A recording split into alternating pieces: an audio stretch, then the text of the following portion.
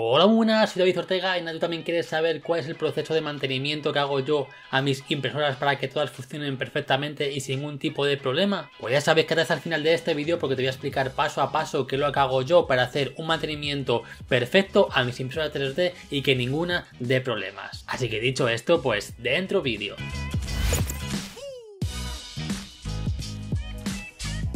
Y antes de comenzar ya sabéis que un like un comentario se agradece muchísimo, suscribiros estáis, activar la campanita y recordad que en la descripción de este vídeo pues dejo todas mis redes sociales para que me podáis seguir en ellas, además seguirme en Instagram que es arroba y uniros a mi grupo público de Telegram, que como digo todo en la descripción de este vídeo. En este vídeo quiero explicar cuál es el proceso de mantenimiento que hago yo a mis impresoras 3D, ya que con el paso del tiempo y con el paso de las impresiones pues suelen coger mucha suciedad, incluso las correas, rodamientos, ruedas de nylon pues pueden perder sus ajustes. En el caso de que usemos laca para mejorar la adherencia de nuestras piezas 3D o algún otro producto relacionado, pues estos a la larga van dejando una pequeña capa de suciedad sobre nuestra cama de impresión. Incluso además nos pueden quedar trozos de filamento PLA o el que usemos de impresiones antiguas. O incluso se pueden quedar trozos de filamento de impresiones antiguas. En mi caso siempre uso camas flexibles para mejorar el despegue de las piezas, así que te dejo por aquí un vídeo cuáles son las que yo uso. Y nada, para limpiarlas yo lo que uso simplemente es agua con jabón y con la mano una simple bayeta vamos a poder retirar toda esa suciedad sin ningún problema.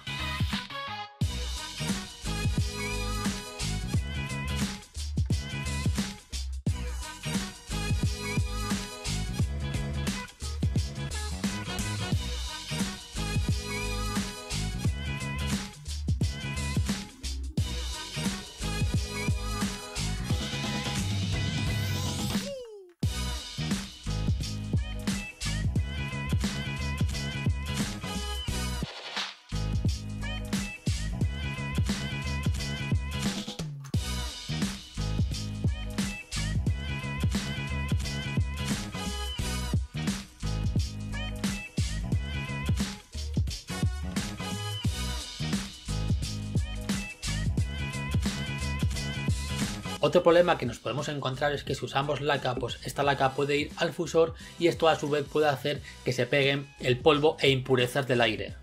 Por lo que siempre que usemos laca para mejorar la adherencia de nuestras piezas, pues tendremos que tener en cuenta de no manchar el fusor y lo podremos tapar directamente con la mano o con algún trozo de papel. También es muy importante limpiar todos los ventiladores del fusor quitándole todo el polvo para, digamos, evitar atascos, para que giren perfectamente y evitar ruidos por temas de vibraciones. También es muy importante lubricar un poquito el eje de ventilador. Esto simplemente lo podemos hacer con lubricante WD-40. Por supuesto, no olvidar que la placa controladora y la fuente de alimentación también llevan su ventilador, por lo que también tendremos que limpiarlos para evitar ruidos y atascos.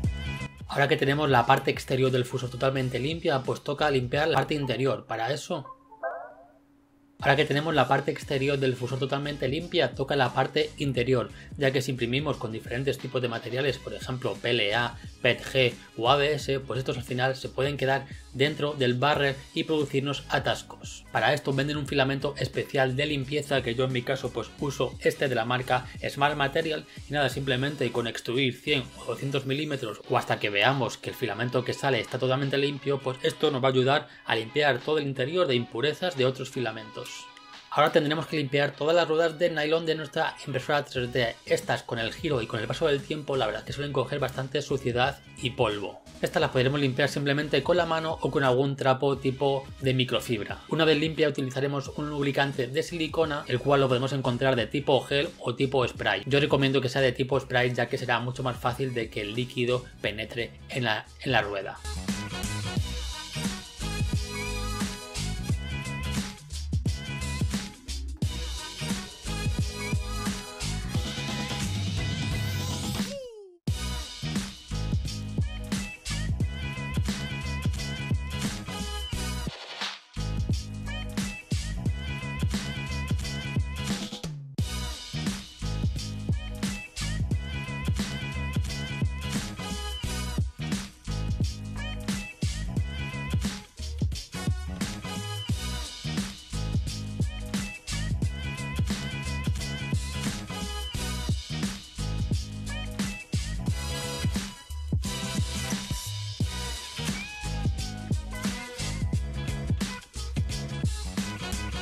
Con el paso de las impresiones y el tiempo también es muy probable que las correas pierdan su tensión, por lo que para que no tengamos problemas de pérdida de pasos tendremos que tenerlas tensadas en su punto exacto. Este proceso dependerá de nuestra impresora 3D, pero por lo general todas las impresoras 3D tienen unos tensores o son los propios motores los que se mueven para tensar esta correa. Por supuesto, esta correa no tiene que estar ni muy floja ni muy apretada, tiene que ser, digamos, un punto intermedio para que los motores puedan girar perfectamente y que no pierda pasos. Por supuesto, también tendremos que revisar las excéntricas de nuestra impresora 3D.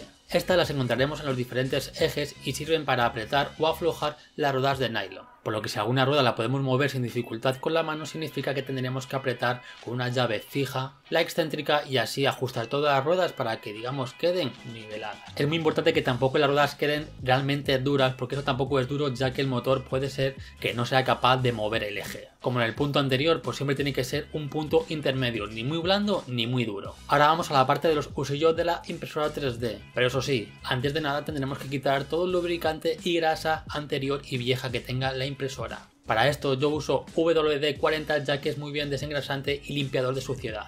En este paso tener cuidado de no manchar mucho, así que yo recomiendo usar algún tipo de trapo o bayeta que además nos va a servir para quitar todo perfectamente de la anterior grasa o lubricante que tuviera el usillo.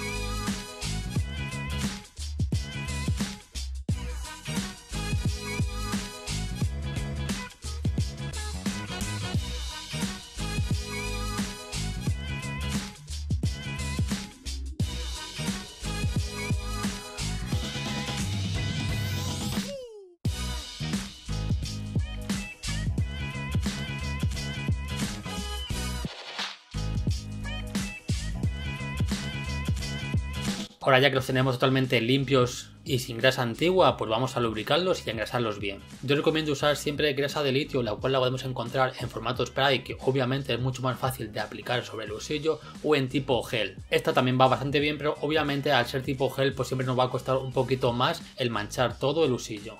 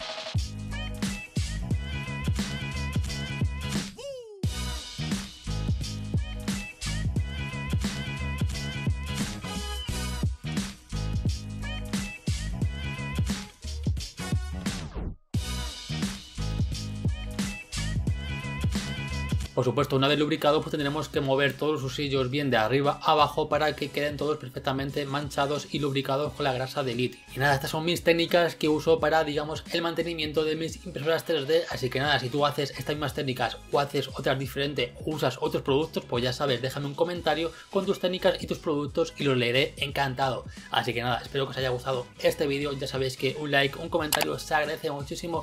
Suscribiros, estáis, activar la campanita y recordar que aquí abajo pues dejo todas mis redes sociales que me podéis seguir en Instagram, que es arrobadorq y uniros a mi grupo público de Telegram. Así que lo dicho, un saludito, bye bye, nos vemos.